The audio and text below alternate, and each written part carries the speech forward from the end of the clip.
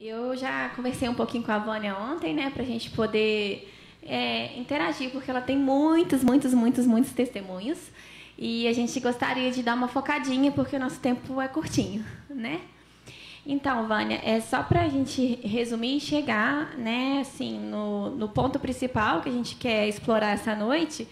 É, você nasceu no berço evangélico, conheceu Jesus já mais adulta, como foi esse inicinho?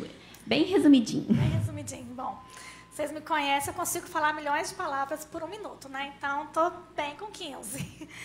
É, bom, é, eu não nasci num berço evangélico. Depois de algum tempo, a gente começou a ir para a igreja. Tinha pouco tempo, mas é, na no começo da adolescência, meu pai faleceu. Então, deu uma balançada um pouco na, na casa, porque minha mãe teve que escolher entre ser a provedora, que é o local do homem, ou aquela mãe amorosa. Só que com três filhos, tudo criança, meu irmão mais novo tinha três para quatro anos na época, então ela teve que correr, da correr atrás da provisão. Então, eu tive uma adolescência muito rebelde, me envolvi com muitas coisas erradas, me envolvi no mundo das drogas, me perdi muito. E eu voltei para Jesus em 2007, eu tinha entre 22 e 23 anos. É, aí nesse período que você conheceu seu esposo ou um pouco mais à frente?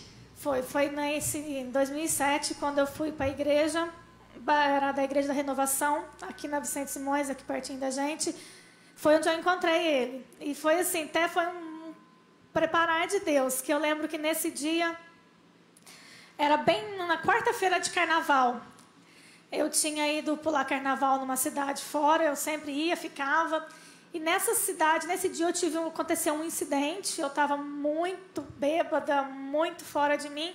E aconteceu um incidente, para vocês terem noção, que o trio elétrico parou para chamar os bombeiros para me socorrer. Tão forte que foi, na hora que eu acordei, minutos depois, eu percebi que tinha acontecido. E eu falei assim, gente, se eu não sair daqui, eu vou morrer. E a igreja onde eu fui conhecer meu marido era do lado da minha casa. Só que eu não queria ir nessa igreja, porque na rua de baixo era Leão Vicente Simões, onde tinha os barzinhos. Eu falei assim: se o pessoal me ver saindo da igreja, vai tirar sarro de mim. Então eu tenho que ir para a igreja longe. E nesse dia saiu eu, uma amiga minha, a gente caçando igreja, procurando igreja, e por incrível que pareça, todas as igrejas da cidade estavam fechadas. Aí eu falei, Van, tem que ser aquela mesmo, tem que ser aquela do lado de casa, a gente vai na miudinha e ninguém vai ver. E foi quando eu fui para lá, e nesse dia eu estava igual o Martinelli conta um testemunho, né? eu estava bem destruída mesmo, bem judiada. E naquele dia, Deus me laçou. Então, aí eu comecei a... Aí eu fui para a igreja, nesse dia eu me reconciliei com Jesus. Mas aí passou quarta, quinta e sexta. Na sexta-feira eu ainda acabei saindo, fazendo as coisas erradas. Mas quando eu cheguei em casa, aconteceu uma coisa que nunca tinha acontecido. Eu olhei para o espelho e tive nojo de mim. Eu tive um nojo, tive vergonha de me olhar no espelho. Foi quando eu me coloquei no chão e falei: Deus, me ajuda. Agora eu preciso de ajuda. Eu preciso sair dessa vida. E sozinho eu não consigo. Aí foi quando eu paguei literalmente com bebida, com droga, com cigarro, com tudo. E foi quando eu conheci Martinelli. Foi ele que me ajudou muito no processo. Nesse processo de cura mesmo. Entendi. É, aí, você, aí vocês namoraram, e aí ele ficou doente no processo do namoro, do noivado, não é isso? Não, na verdade, já quando a, a gente começou a namorar foi quando começou os primeiros sintomas que ele tinha. Mas na época a gente não sabia o que, que era. A gente achava que era um problema comum, uhum. fazia um tratamento e curava. A gente casou em 2008, casamos, ele casou bem doente, é, tanto no casamento ele estava, nossa, muito amarelo, até minha família assustou muito, muito magro. A gente teve que adiar o casamento duas vezes, porque perto do casamento ele ficou internado, então a gente teve que, que adiar. E até engraçado falar do casamento, cadê o João Pedro? Aquele homem daquele tamanho, ele era um pequenininho. levou, minha, levou a Bíblia no casamento e hoje está tão grandão. É, então a gente casou doente. Mas... Foi um casamento. Os dois primeiros meses do casamento foi super tranquilo. A gente conseguiu aproveitar, mas terceiro, quarto mês depois já começou a ter as recaídas o da processo. doença. Mas nesse período, você não pensa assim, porque humanamente, se você já viu ele começar a ficar doente, até casar você tinha escolha de sair fora do barco. Você nunca pensou nisso? Você, o que te manteve firme? Porque não é fácil, né? Já estava no processo. Você sabia que você teria um peso para levar que você tinha ciência, porque às vezes a gente casa e não tem ciência do que está né, do que tá por vir. Você já tinha, não do tamanho, da proporção que foi toda a situação, mas assim, você já tinha ciência que não eram né, duas pessoas saudáveis, né? Já era uma pessoa que já tinha alguns problemas é, a mais do que normalmente se tem, né? Sim, eu, é, quando a gente casou, a gente sabia da. A gente já tinha tido o primeiro diagnóstico, né? O primeiro diagnóstico que a, que a médica deu aqui em Pouso Alegre é que ele ia ter três meses de vida. Passou os três meses, então a gente falou assim: não, morrer então não vai. E ele tinha muito altos e baixos, então tinha época que ele estava muito bom, vendendo saúde, jogava bola, brincava com a coisa toda com o pessoal da igreja, ele era o líder dos jovens, uhum. então tinha que ter uma disposição muito boa. Tinha uma época que ele ficava muito ruim, mas até então a gente não sabia, o pessoal aqui em Pouso Alegre não sabia a causa do, do problema dele. Então a gente achava, na hora que descobrir, resolve, acabou. Aí, no que a gente casou, só, que, só depois do casamento que a gente começou a, a ver o que estava acontecendo, porque a gente casou em outubro de 2008, em 2009 já fez a primeira cirurgia, já começou o primeiro processo cirúrgico, as internações, aí 2011 que os médicos aqui em Pouso já não tinham mais recurso para ele, que falou, sai daqui, porque se ele ficar aqui, ele morre. Como ele é de Campinas, aí a família dele trouxe, buscou ele e levou ele para Campinas para começar o tratamento lá. Eu estou te perguntando porque, assim, hoje em dia, as pessoas, elas, elas abrem mão de um casamento, de um relacionamento, por coisas que, assim, para nós, parece que são tão pequenas e algo tão complicado, por isso que eu te perguntei é assim, foi sentimento, foi Deus, o que foi que fez assim, não, eu vou continuar, não importa. Mesmo nesse início, que depois teve coisa mais difícil ainda que você teve que enfrentar, é, você nunca teve dúvida, sempre, não, vai, é, vai curar, vai, a gente vai achar a solução, tá é. tá tudo certo, a gente vai superar ah, isso. Parece até clichê, né? Mas eu falo assim, não foi Deus, não foi pessoas, nada, foi amor. Eu falava assim, é o amor, eles falam que o amor é cego, né? Surdo e mundo. Eu falo assim, realmente. Eu não enxergava ele doente, eu não enxergava ele amarelo, eu não enxergava ele magro, ele ficou com uma aparência assim, realmente, se a gente pegar fotos antigas e mostrar, quem tem o nosso Facebook consegue ver fotos antigas dele, realmente estava na situação, a irmã dele está aqui, acompanhou tudo, é a pessoa que pode falar de perto como que foi a situação. Eu não enxergava isso nele. Mas, assim, a fase mais crítica do nosso casamento foi nesse ano que ele foi para Campinas, porque quando ele começou a ir para Campinas, ele ficava em Campinas dois meses e voltava. Eu tinha que estar tá, ficar aqui trabalhando, não tinha como eu ficar lá com ele. Mas aí em 2011 ele ficou internado num hospital particular lá, ainda não era paciente da Unicamp, ainda estava em processo de hospital particular. E ele teve uma parada cardiorrespiratória e ele ficou em coma muito tempo. E ele começou a ter falências múltiplas de órgãos e aquela situação toda, o cérebro dele já não estava funcionando tão bem. E ele tinha um quadro chamado encefalopatia, que é um quadro de quem tem problema de fígado que dá realmente uns problemas na parte neurológica. E quando ele voltou desse coma em 2020, 2011, ele voltou totalmente debilitado, é, voltou na cadeira de rodas, ele não andava direito, não se movimentava, tinha que fazer fisioterapia para tudo, para falar, para comer, começou a usar fralda, porque ele já não segurava, não conseguia segurar a, a, as necessidades, e ele perdeu a memória. Então, ficou uma fase difícil assim, que juntou a encefalopatia, que deixava muito nervoso, e a perda da memória, e eu queria ficar com ele lá, e ele não me aceitava. Ele falava assim, eu não sei quem você é, some da minha frente, não quero você. E para mim essa fase foi, foi a mais, mais difícil. difícil. Porque a gente como esposa quer ficar do lado, eu me sentia impotente, me sentia inútil. Aí isso foi em maio de 2011, quando deu o mês de junho, julho, mais ou menos, o médico liberou ele voltar para Pouso Alegre. Aí a gente voltou, ele voltou para Pouso Alegre, para vocês não noção, a gente, quando a gente casou, a nossa casa era linda. Aquela casinha de boneca, primeira casa. E quando ele começou a ir para Campinas, a gente teve que desfazer da nossa casa, porque a gente trabalhava, ficou eu e o pai dele trabalhando aqui, e a mãe dele lá. Tudo que a gente tinha, a gente mandava para eles, porque era remédio, era alimentação balanceada, é, alimentação alto, né? diferente.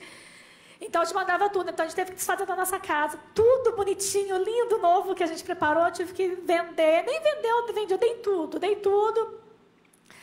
Só fiquei com algumas coisinhas e a gente foi morar no quarto da casa dos pais dele. Então, assim, para quem tinha uma casa linda de boneca, que quando você casa, é o sonho, você né? monta o enxoval, você monta tudo. A gente foi morar no quarto da casa do pai dele. E ele voltou para Pouso Alegre. Quando ele voltou para Pouso Alegre, ele não aceitava ficar comigo no quarto. Eu tinha que ficar com ele na sala. Eu deitava, ele deitava no colchão no chão e eu deitava no sofá. Ele também não queria deitar na cama junto comigo. E eu fazia carinho nele para poder dormir. Ele falava assim: tira a mão de mim, eu não sei quem você é. E aquilo ali foi me machucando, foi me maltratando. E aí eu cheguei um dia, ajoelhei nos pés da cama e falei assim: Deus. O casamento, quando eu casei, é, o Senhor falou que é até que a morte o separe, né? Então, assim, então amém. Que seja até a morte separe. Mas eu não amo mais ele. Eu não sinto mais nada, não tenho desejo por ele, então eu vou manter esse casamento pelo Senhor. Ou o Senhor leva eu, ou o Senhor leva ele, para que resolva isso. Isso era mais ou menos no mês de, mar... de outubro. Aí foi passando, novembro, dezembro, a gente foi empurrando. E ele naquela situação, quando foi janeiro de 2012, eu fui num, num, numa conferência em Varginha, chama Encontro com Deus, Encontro Face a Face com Deus. E, era, e é um trabalho muito bonito que eles fazem, também é da Igreja Batista, e eles fazem um trabalho muito bacana, onde você fica isolado no local lá, e a ministração das seis da manhã à meia-noite, você não para nem para respirar. Então, e quando a gente chegou lá, eu lembro no meu casamento, o bispo Maurício, que é da Água Viva, ele fez o casamento, ele falou assim, se um dia você, cônjuge, tiver um problema no seu casamento, dobra os seus joelhos no pé da, da cama e pede para Deus um amor dobrado pelo teu cônjuge. Eu tenho certeza que Deus vai dar esse amor dobrado. E eu lembrei dessa palavra que foi no meu casamento. Aí, eu, quando eu cheguei lá, o pastor pegou e falou que fez a abertura. Falei assim: pede algo para Deus, mas algo que não seja material, seja algo para você. Aí eu pedi para Deus: Deus, eu quero um amor dobrado pelo meu marido. E passou. Isso foi sexta, foi sábado. Quando eu acordei de domingo, sábado para domingo, eu estava, nossa, queria ver ele de qualquer jeito, eu precisava ver ele, eu precisava conversar com ele. Mas tudo acontece, né? Aí foi até interessante que quando acaba o evento, a gente recebe as cartas das pessoas queridas tal. E eu feliz da vida achando que havia uma carta dele. E nada. E na hora que o nosso pastor foi buscar a gente, aí eu falava assim, pastor, estava meio estranho, eu falei assim, pastor, cadê meu marido? Pastor Wesley, cadê meu marido? Cadê meu marido? Cadê meu marido? E nada, ele não respondia. Eu percebi que alguma coisa estava errado. Eu falei, se eu preciso falar com ele, eu preciso ver ele. Ele virou e falou, calma, Wanda. Eu falei, fala. Aí ele sentou comigo, ele respira. Eu falei, o que, que aconteceu? Ele falou assim, o, é, eu chamei de Zé, né? O Zé, ele, deu, ele passou mal, teve que levar no hospital, ele está com pneumonia, ele está internado na Unicamp, está internado em Campinas de novo. Eu falei, pronto, agora eu estou apaixonada de novo. Vai morrer, não quero que morre agora, Deus, calma. E aí, naquele desespero, aí voltei para Pouso Alegre. E aí eu não conseguia falar com ele. Aí dias depois eu consegui falar, ele voltou para Pouso Alegre. E aí ele já estava mais, já estava me aceitando melhor. Então aí a gente foi passando esse processo. Quando chegou em fevereiro, ele acordou assim de madrugada, assustado, e falou assim: acorda. Eu falei, o quê? Eu falei, eu sonhei com o nosso casamento. Glória a Deus. Então, para mim, assim, foi, foi maravilhoso, porque eu já estava naquele processo de cura. Ele voltou a lembrar da gente. E quando ele, aí quando foi em maio de 2012, ele começou, foi, chamou, foi chamado para receber o primeiro transplante. Ele falou para mim: Eu quero que você vá comigo. Eu quero que você cuide de mim. E você disse que Deus prepara tudo. Eu trabalhava numa empresa, eu falei com meu chefe: Eu preciso ir para Campinas cuidar do meu marido. Ele falou assim: Vânia, vai. Vai e volta quando ele estiver melhor. E a gente foi, em maio ele recebeu o primeiro transplante, teve que fazer, quem conhece nosso testemunho sabe todo o processo, ele fez o segundo transplante. Aí foi até engraçado, quando ele acordou, depois de uma semana do segundo transplante, a primeira coisa que eu fiz, eu perguntei, você lembra de mim? ele, não, sim, aí foi um processo, assim, de cuidado, eu tive a oportunidade de cuidar dele, a gente só voltou para Pouso Alegre em julho, você vê que Deus preparou tudo, porque nesse período eu fui promovida na empresa, estando lá. Quando eu voltei, o meu, meu chefe devia uns dois, umas duas férias para mim, dois anos de férias. Ele falou assim: Não, Vânia, eu não vou. Eu falei para ele: Desconta isso daí nas minhas férias. Ele falou: Vânia, não vou descontar. Você que está precisando de dinheiro, eu vou pagar as tuas férias. E ele pagou essas férias, que não me descontou nada. Então, assim, foi tudo um Deus trabalhar de Deus. Detalhe. E às vezes, assim, é, a história muita coisa aconteceu. A gente foi contar com os detalhes. E às vezes as pessoas perguntam assim: nossa, Vânia, mas passar por tudo isso e por que passar por tudo isso? Aí tem um versículo que é o versículo do, do amor que a gente fala, né? Deixa eu pegar aqui. Que é lá em Coríntios, né? 1 Coríntios 13, 4, 7, que fala: o amor é paciente, o amor é bondoso. Não inveja, não se vangloria, não se orgulha, não maltrata, não procura seus interesses. Não se, não se ira facilmente, não guarda rancor.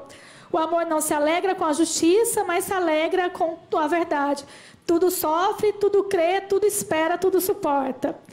Então, o melhor da gente ler um versículo a gente viver o versículo.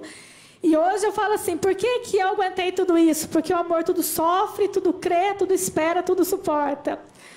Foi bom? Eu falo assim, na carne não foi boa, mas espiritual foi muito bom, porque eu tinha acabado de me converter. Quando a gente casou, eu tinha menos, menos de um ano de ter voltado para Jesus. E eu falo assim, me converter, porque quando eu era adolescente, eu ia na igreja porque minha mãe me levava. Eu lembrei da, da palavra do Filemão na igreja. Que eu ia para a igreja porque minha mãe me levava. Eu não ia para a igreja porque eu queria ter um encontro com Deus. E eu tive esse encontro depois, né? E foi bem no meu começo de conversão. Então, é, essa fase que eu passei foi bom para mim porque eu pude conhecer Deus. Eu pude conhecer o cuidado de Deus, eu pude conhecer o que, que é milagre, o que, que é o tempo de Deus, porque a gente fala assim, espera o tempo de Deus. E eu pude aprender esse tempo de Deus de uma forma tão maravilhosa. Um dos, um dos modos é minha filha. Meu marido ele é estéreo. Ele ficou estéreo percorrente todo esse problema. A gente queria muito ter filho. Eu fiz várias tentativas de engravidar, não conseguia vários exames. Chegou ao ponto de 4 de janeiro de 2006, 2016, o médico falar assim pra gente, Vânia, não tem como mais fazer inseminação. Eu ia fazer inseminação, ia pegar a esperma dele.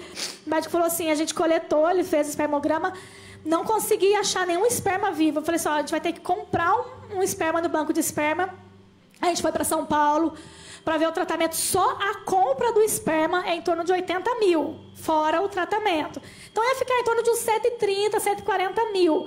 Eu falei, nossa, eu vou estar tá pagando, vou estar tá na faculdade, eu estou pagando a geração da minha filha ainda, não tem condições de fazer isso. Isso foi no dia 4 de janeiro de 2016. Aí eu voltei para o Alegre e falei para o meu médico, falei assim, doutor, não tem como.